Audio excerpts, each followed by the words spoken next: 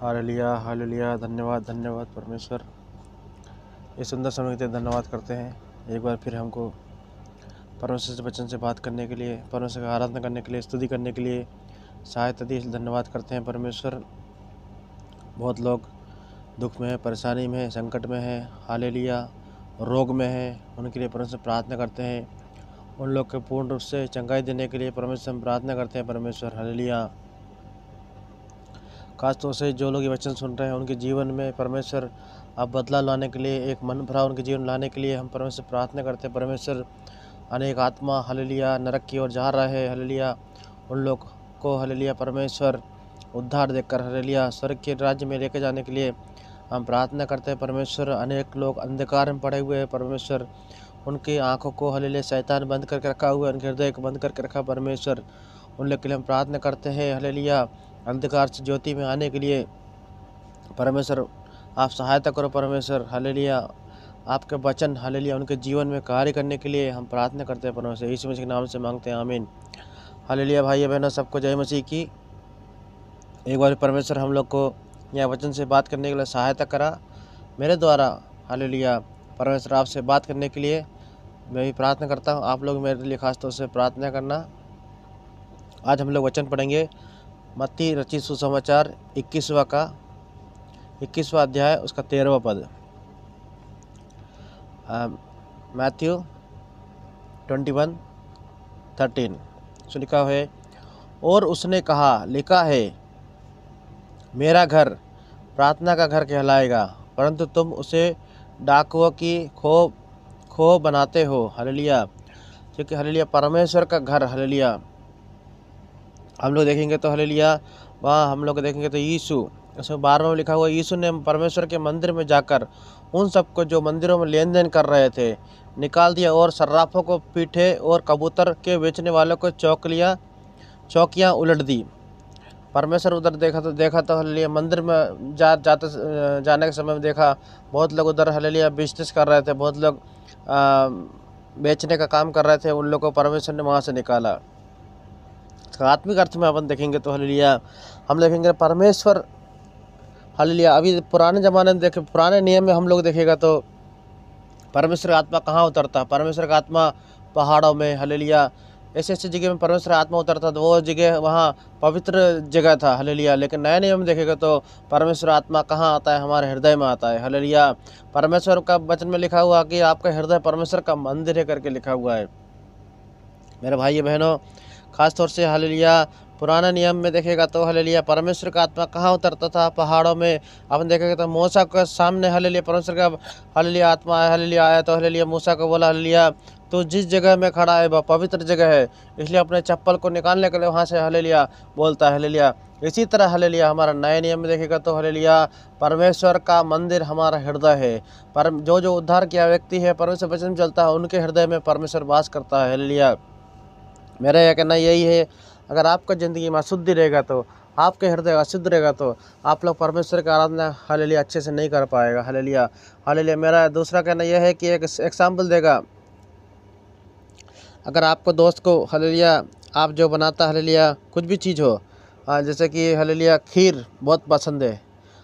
हलेलिया, उसको खीर बहुत पसंद पसंद है, लेकिन आप आप जो बर्तन में उसको देगा, वो बर्तन मेला या गंदा है, हलेलिया, उसमें खीर डाल कर खाया देगा तो हलेलिया वो खाएगा, नहीं खाएगा ना? इसी तरह से हलेलिया, हमारा परमेश्वर को हम आराधना करना बहुत पसंद है। हमारा परमेश्वर का हम, परमेश्वर का धन्यवाद करना, स्तुति करना, परमेश्वर उसको खुश होता है, हलेलिया पसंद करता है। लेकिन आपका हृदय में, आपका जो बर्तन है, बोला तो हृदय समझ लो, हलेलिया, आपका हृदय में अगर अशुद्धि होएगा, आपके हृदय में अगर मेलापन होगा तो आप परम हले लिया परमेश्वर आपका हले लिया आराधना स्वीकार करेगा, आप ही सोचो।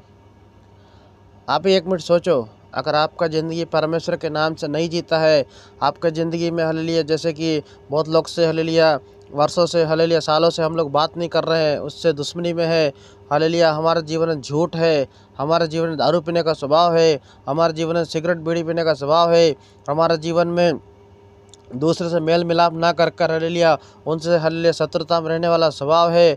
हले लिया जो भी हले लिया परमेश्वर के वचन का विरोध में हमारे ज़िंदगी में स्वभाव रहेगा तो। हम लोग परमेश्वर को कितना भी आराधना करो, हमारा परमेश्वर स्वीकार नहीं करने वाला है। हाल लिया हम लोग हले दुनिया का नज़र देखेगा तो आपका कितना भी अच्छा दोस्त हो, आपको हले लिया वो हले लिया कचरा वाला प्लेट में अगर उसको कितना भी अच्छा वाला चीज़ आप देखो तो हले लिया वो खाएगा हले लिया नहीं खाएगा। इसी तरह से हमारा परमेश्वर हले लिया दुनिया की चीज़ें में से तो उससे बढ़कर हमारा परमेश्वर, अति महान परमेश्वर, पवित्र परमेश्वर है। खासतौर से हमारा परमेश्वर बोलता है, मैं पवित्र हूँ। इस तरह से तुम भी पवित्र बनो करके वचन लिखा हुआ है।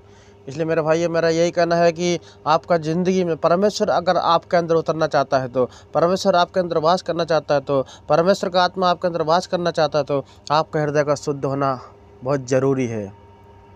उधर देखेगा तो यीशु ने अपना मंदिर से हले लिया, ये मेरा प्रार्थना का भवन है करके हले लिया, सब लोग को वहाँ से निकाल दिया हले लिया बिज़नेस करने वाले को। इसी तरह से आप भी अपना ज़िंदगी में हले लिया, अशुद्धि को अपना ज़िंदगी में हले लिया, जो भी झूठ बोलने का स्वभाव, जो भी हो हले लिया, आपके ज़िंदगी में वचन के विरोध में अशुद्धि, उसको वहाँ से निकालने के लिए हले लिया। आज परिशुद्ध हले लिया पवित्र आत्मा, अगुवाई करता है हले लिया।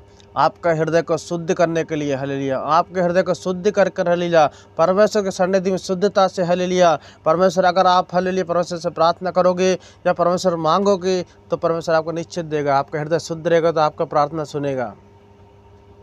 नहीं तो आप कितना भी आराधना करो, कितना भी स्तुति करो, कितना भी प्रार्थना करो, आपका प्रार्थना स्वीकृत नहीं होगा वहाँ। क्यों नहीं होगा? मेरा जो एग्ज़ाम्पल से, जैसे कि आपका दोस्त हले लिया बर्तन हल्लिया ख़राब होने के कारण, बर्तन मेला होने के कारण, बर्तन में गंदगी होने के कारण वो नहीं खा नहीं खा पाता है। उसी तरह मेरा परमेश्वर भी हल लिया क्योंकि मेरा परमेश्वर पवित्र है, हमारा परमेश्वर पवित्र है बचन में लिखा हुआ है हाल हमारा परमेश्वर पवित्र है, पवित्रों में पवित्र हमारा परमेश्वर है। तो हमारे ज़िंदगी में जो भी अशुद्धि के साथ हम लोग प्रार्थना करेगा तो स्वीकार नहीं करेगा। हमारी ज़िंदगी जो भी अशुद्धि के साथ हम लोग परमेश्वर पुकारेंगे तो परमेश्वर नहीं सुनेगा। हमारा ज़िंदगी में हले अशुद्धि के कारण हम जो भी करेगा, परमेश्वर हमारा तरफ़ नहीं देखेगा, मेरे भाइयों। इसलिए आज परमेश्वर आपसे बात करता है। आपका ज़िंदगी में जो भी अशुद्धि हो परमेश्वर के वचन आप नए नियम में पढ़ोगे तो हले वचन के हिसाब से आप पढ़ोगे तो एक एक के बारे में लिखा हुआ है वचन के हिसाब से आपकी ज़िंदगी में क्या क्या अशुद्धि है क्या क्या परमेश्वर को पसंद वाली, ना वाली चीज़ें हैं, वो सब आज निकाल कर आप प्रार्थना करोगे तो निश्चय रूप से हले पवित्र आत्मा आपके ज़िंदगी में आएगा, मेरे भाइयों। पवित्र आत्मा यीशु आपके साथ वास करना चाहता है। हले परमेश्वर का आत्मा आपके साथ रहना चाहता है। परमेश्वर आपका आत्मा आपके साथ रहकर मार्गदर्शन दिखाना चाहता है। इसलिए आज हम छोटा प्रार्थना करेंगे। हे स्वर्गीय पिता परमेश्वर, ये सुंदर समय के धन्यवाद करते हैं। एक बार फिर अपने बच्चे लोग से परमेश्वर बात करा। हाल लिया हमारे हृदय को शुद्ध करने के लिए।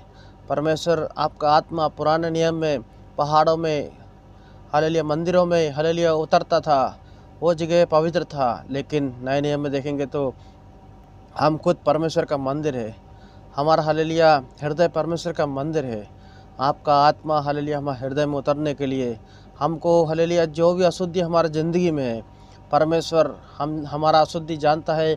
एक एक करके हमारा अशुद्धि को कबूल कर कर हले लिया एक एक पाप का हम कबूल कर परमेश्वर करते हैं। परमेश्वर हम लोग को माफ़ कर परमेश्वर, क्षमा कर परमेश्वर। हाले लिया हाले लिया हाले लिया परमेश्वर, क्षमा कर परमेश्वर। आज से हम तेरा बेटा बनकर हले लिया जीना चाहते हैं, जो भी ऐसा प्रार्थना करेगा, परमेश्वर आज से हम तेरा बेटा बनकर जीना चाहते हैं। और निश्चय रूप से परम संग्रह करेगा, निश्चय रूप से आपको माफ़ करेगा, निश्चय रूप से आपके हृदय में वास करने के लिए हमको हर सहायता कर। यीशु मसीह के नाम से मांगते हैं, आमीन। खासतौर से आप लोग से बात करा से धन्यवाद करते हैं। जो व्यक्ति ये वचन को सुना है, अपने ज़िंदगी में पीछे मुड़कर देखो अपने ज़िंदगी में प्रसन्न में भी देखो। लिया आप कितना पाप कर चुके हैं, आप कौन सा पाप में है, पाप कर रहे हैं। लिया आपका हृदय किस तरह से अशुद्ध है? लिया आज हृदय को अशुद्ध को, अपना ज़िंदगी में शुद्ध करने के लिए आपके पापों को कबूल करोगे तो लिया परमेश्वर आपको माफ़ करेगा तो आपका हृदय शुद्ध होगा।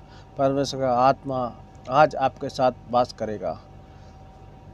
इसलिए ज़्यादा से ज़्यादा लोगों में परमेश्वर के वचन को शेयर करो।